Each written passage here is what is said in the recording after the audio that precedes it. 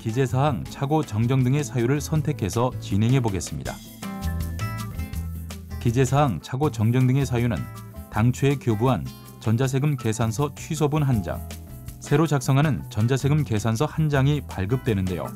취소분은 자동으로 입력이 되니 따로 작성하실 필요는 없고 새로 작성하는 전자세금 계산서만 작성하시면 됩니다. 새로 작성하는 전자세금 계산서 항목들을 보시면 공급자, 공급받는 자, 공급가액, 품목 등의 정보가 보여지고 있는데요. 이 중 수정을 원하시는 부분을 선택하시면 됩니다. 저는 공급가액을 수정해 보도록 하겠습니다.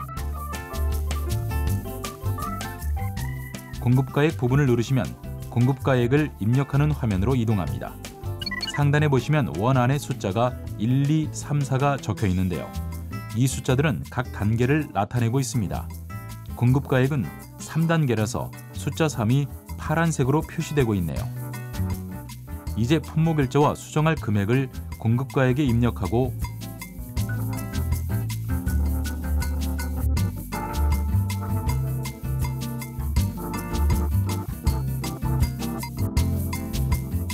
다음을 선택합니다. 그러면 4단계로 넘어가고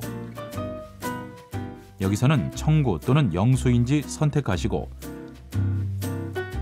합계 금액 중 현금, 수표, 어음, 외상 미수금이 얼마인지 적어주시면 됩니다.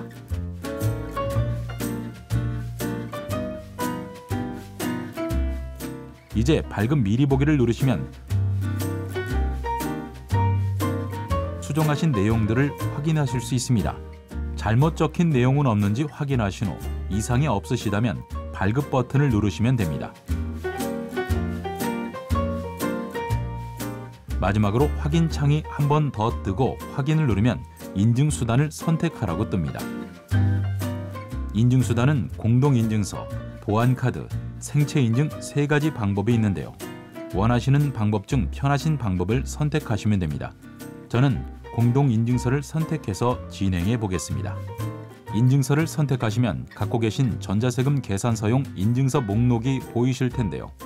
인증서를 선택하시고 비밀번호를 입력하시면 발급이 되었다는 창이 뜨고 확인을 누르시면 됩니다.